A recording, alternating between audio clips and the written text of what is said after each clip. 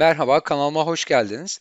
Bu videoda dolar TL'nin teknik analizini yapacağız. Sabah saatlerinde 5.80'li seviyelerdeydi. Daha sonra 5.70'li seviyelere kadar geriledi. Tabii ki temel gerekçeleri var bu düşüşün ama bizim konumuz teknik analiz. Bu nedenle teknik açıdan inceleyeceğiz. Bu düşüş devam eder mi? Ne kadar devam eder? Hani bir yükseliş trendinden bahsetmiştik. Hafif eğimli yükselen bir kanalın varlığından bahsetmiştik.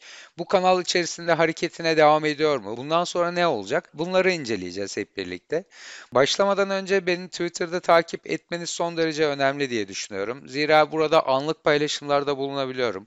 Yaklaşık son bir hafta 10 gündür çok sık paylaşımda bulunamadım. İşlerimin yoğunluğuyla. Ancak bundan sonra tekrar sıklaştıracağım paylaşımlarımı arkadaşlar.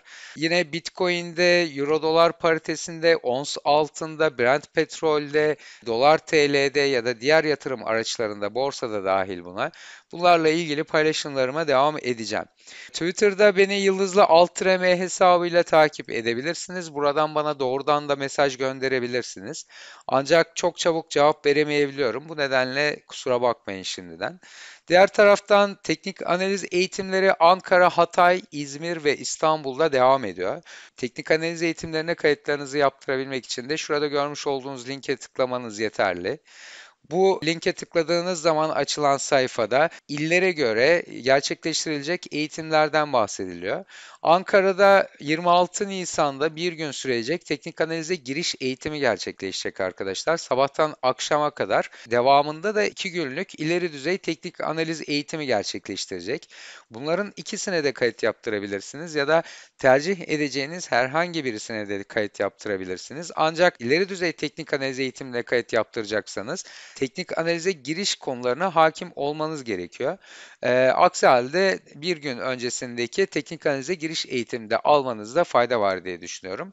Buradaki il adına tıkladığınız zaman açılacak sayfada teknik analiz eğitimi ile ilgili son derece detaylı bilgileri bulabileceksiniz. Eğitimleri de yapılacak, kim anlatacak, işte ücrete neler dahil, ödeme bilgileri, banka hesap bilgileri, bunlarla ilgili her türlü bilgiyi burada bulabileceksiniz ve buradaki formu doldurup kaydol butonuna bastığınız zaman da e, ön kaydınız gerçekleşmiş olacaktır.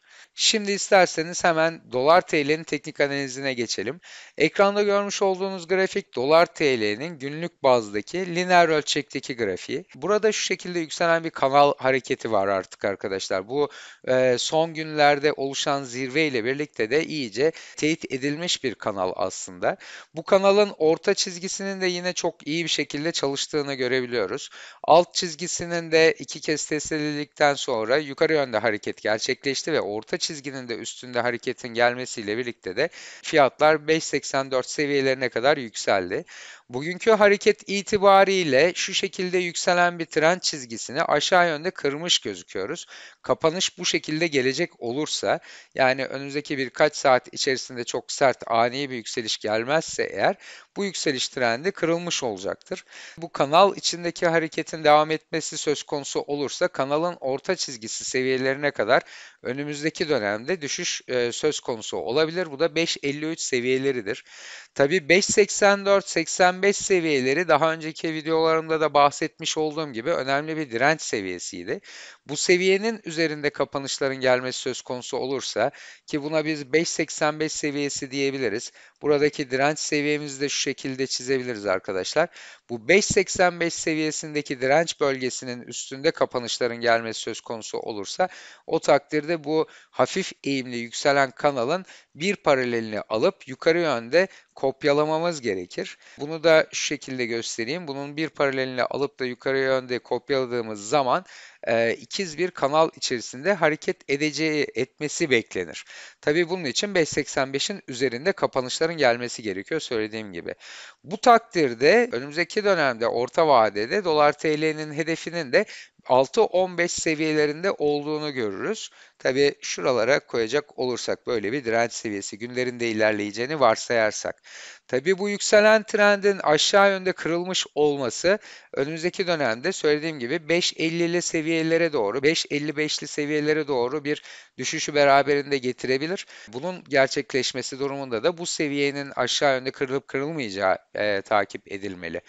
Tabi dolar TL'de %3'lük, %5'lik herhangi bir yükselişi görenler bazı paylaşımcılar anında %30'luk e, yükselişlerden bahsetmeye başlıyorlar.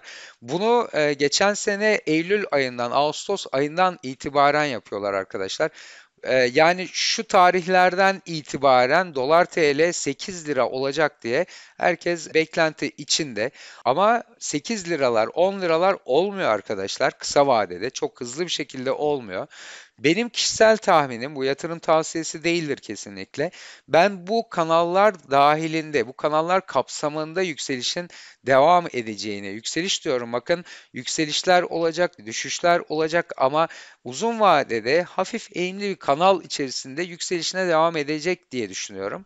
Bunun için de indikatörlere de bakmak lazım. İndikatörlerde çok sert yükselişi destekleyen bir görüntü yok şu anda. Bakın MACD'de şurada histogram çizgisi ki bazıları, bazı arkadaşlar bunun işlem hacmi olduğunu iddia ediyorlar. Aman dikkat arkadaşlar, işlem hacmi bambaşka bir şeydir. Bilmeyen, teknik analizin T'sinden anlamayan birçok kişi burada bu MACD'nin histogram çizgilerinin işlem hacmi olduğunu düşünüyor. Onun öyle olduğunu zannediyor. Halbuki alakası yok. Buradaki histogram çizgisinin ne olduğunu söyleyeyim ben size. Bakın şöyle bir yüksekliğe alın. Bu yüksekliği aynı gün içerisinde MACD çizgisiyle MACD'nin sinyal çizgisi arasına götürün. Görüyor musunuz arkadaşlar? Bu çizgi aslında histogram çizgileri MACD çizgisiyle MACD'nin sinyal çizgisi arasındaki uzaklığı temsil eder. Ee, bambaşka bir şey. işlem hacmiyle kesinlikle alakası yok. Dolayısıyla MACD'deki bu histogram çizgisinin sıfır bölgesine doğru yaklaşıyor olması önümüzdeki günler itibariyle günlük grafiğe baktığımız için dolar TL'de bir süre daha gevşemenin e, devam edebileceğini gösteriyor bize. Tabii ilk etapta burada Bollinger Bands'in de orta çizgisi seviyelerinde bir destekle karşılaşması muhtemel. Önümüzdeki günler itibariyle 5.60'lı seviyeler gündeme gelebilir. Tabii bu seviyeye gelmeden önce de daha önceden destek direnç olarak çalışmış olan diğer destek seviyelerini de takip etmekte fayda var. Bunlardan en önemli seviyede 5.66, 5.65, 5.66 seviyelerinde olan şuradan geçen yatay destek çizgisi olarak karşımıza çıkıyor. E, fiyat grafiğine baktığımız zaman dediğim gibi geri çekilmelerde bu destek seviyelerini takip etmekte fayda var. MACD'nin de histogram çizgisinin sıfır seviyesine doğru yaklaştığını da göz ardı etmemek lazım. Diğer taraftan RSI'yi inceleyelim çok kısaca. RSI'nin de alabileceği maksimum değerler 70 bin, 50 bin, 30 bin değildir arkadaşlar. RSI'nin maksimum alabileceği değer 100'dür. E, minimum alabileceği değer de e, sıfırdır. Teorik olarak 70 bin yani burada 72.5 bin yazan şeyleri de 72.500 okuyanlar varsa onlar da teknik analizi bilmiyorlar arkadaşlar. Çünkü burada yazan şey 72.500 değil 72.5'tir, 72.5'tur. Ben size bu uyarıları yapıyorum zira teknik analizi gerçek anlamda bilmeyen insanlar sizlere yanlış bilgiler paylaşıyorlar. Yanlış aktarımlarda bulunuyorlar ve hepiniz de zarara uğruyorsunuz eğer kendi kararlarınızı, kendi teknik analizinizi yapmıyorsanız. RSI'da da yine çok kısa vadede şu şekilde bir yükselen trend aşağı yönde kırılmış durumda son iki gündür. RSI öncül sinyal verebilir demiştim arkadaşlar daha önceki videolarımda da. Bakın bunu görebiliyoruz burada. Dün itibariyle aslında RSI düşüş trendine geçmişti. Buradaki yükseliş trendi aşağı yönde kırılarak ama fiyatlar yükseliş trendine henüz kırmamıştı. Dün itibariyle RSI aslında sat sinyali üretmişti. Stokastik RSI'ye baktığımız zaman da bunun da aşırı alış bölgelerinden sat sinyali ürettiğini görebiliyoruz. Bu da kısa vadede düşüşü beraberinde getirecek gibi gözüküyor. Kısa vadede bu şekilde düşüş ihtimaline karşılık arkadaşlar uzun vadede Haykin aşı e, hala al sinyali üretmeye devam ediyor aylık grafik itibariyle. Diğer taraftan haftalık grafiğe baktığımız zaman da yine Haykin aşının al sinyali üretmeye devam ettiğini görüyoruz. Haftalık grafikte indikatörlere baktığımız zaman da MACD haftalık grafikte al sinyali üretmeye devam ediyor. Diğer taraftan RSI'nin yönünü bu bugünkü hareketle birlikte az da olsa aşağı çevirdiğini görebiliyoruz. RSI'nin 50 üzerinde kalmaya devam etmesi önemli dolar TL açısından. Diğer taraftan stokastik RSI'nin de normal sınırları içerisinden tekrar al sinyali ürettiğini görüyoruz. Eğer bu haftaki kapanış bu şekilde gerçekleşecek olursa. Bu anlattıklarımdan çıkan sonuç şu. Günler itibariyle dolar TL'de kısa vadede önümüzdeki birkaç gün içerisinde belki yarın belki e, bir sonraki gün de dahil olmak üzere aşağı yönde hareketin devamı söz konusu olabilir. Ama haftalık grafiğe baktığımız zaman orta vadeli bir analiz yaptığımız zaman yani dolar TL'deki yükselişin devam etme potansiyelini koruduğunu görüyoruz.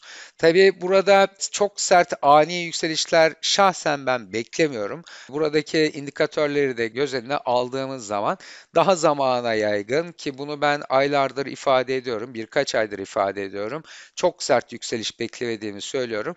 Daha zamana yaygın, hafif eğimli yükselen burada bahsetmiş olduğum kanallar kapsamında hareketine devam edecek gibi gözüküyor. Bollinger Bells'in orta çizgisi 5.61 seviyelerinden geçiyor. Üst çizgisinin de günlük grafikte 5.89-5.90 seviyelerinden geçtiğini görüyoruz. Ancak 5.85 seviyelerinde önemli bir kanal üst çizgisi direncimiz var. Burası yukarı kırılırsa eğer o zaman 5.90 6 ve kanalın da üst kanalın orta çizgisi seviyesi olan 6.15 seviyeleri gündeme gelebilir. Tabii aşağı yöndeki hareketin devam etmesi söz konusu olursa ki çok kısa vadede bunun olma olasılığı biraz daha yüksek. Birkaç gün içerisinde 5.65 ve 5.61 seviyeleri e, gündeme gelebilir. Buranın da altına düşülmesi söz konusu olursa 5.50'li seviyeler gündeme gelecektir arkadaşlar. Tabii 5.50 seviyesinin aşağıda, yukarıda da 6.15 seviyesinin yukarı kırılması durumunda da sonraki kanal çizgilerinin destek göstereceği ve direnç göstereceği seviyelerde 5.23 ve 6.47 seviyeleri olarak karşımıza çıkar. Tabii bunları konuşmak için henüz çok erken. Öncelikle şu önümüzdeki günler itibariyle hareketini izlemekte fayda var. Benim dolar TL ile ilgili teknik analizim bugünlük bu kadar. Bundan sonra paylaşımları daha da sıklaştıracağım arkadaşlar. İş yoğunluğum biraz azaldı. Bu nedenle Twitter'da da takipte kalmanız son derece önemli. Kripto paralarla ilgili, emtialarla ilgili, ons altın, Brent petrol vesaire bunlarla ilgili teknik analiz paylaşımlarıma da devam edeceğim. Eğitimler e, devam ediyor. Eğitimlere kayıt için Paradox Finans'taki linkleri izleyebilirsiniz. Aynı zamanda Twitter'da da bu linkleri paylaştım. Beni dinlediğiniz için çok teşekkür ederim. Hepinize bol kazançlı günler. Tekrar görüşmek dileğiyle. Şimdilik hoşça kalın.